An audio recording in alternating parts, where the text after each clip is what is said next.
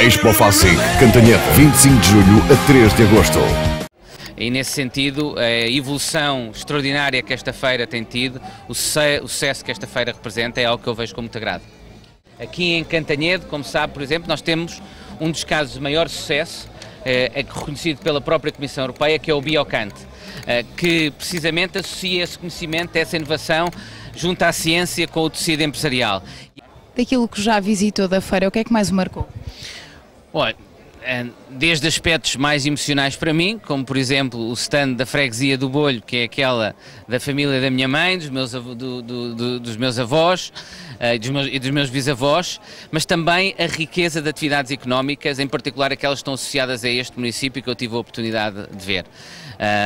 Mas sobretudo penso que é uma feira que demonstra também o dinamismo crescente da nossa atividade económica e também noto cada vez mais confiança e otimismo na, na, nas pessoas.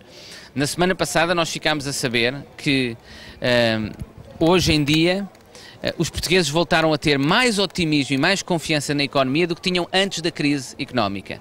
E isso é muito importante e é revelador uh, do entusiasmo e da confiança que a recuperação económica que o país iniciou, que vai ser difícil, mas que está a trazer e é, sobretudo quando é associada a essa capacidade que os portugueses têm de vencer as dificuldades e que têm demonstrado. Passámos por dificuldades enormes ao longo de três anos, ainda temos dificuldades pela, pela, pela frente, mas vamos conseguir vencer essas dificuldades partindo desse otimismo, mas depois também com o apoio do Estado. E como sabem, nós tivemos também essa boa notícia na última semana, temos 26 mil milhões da União Europeia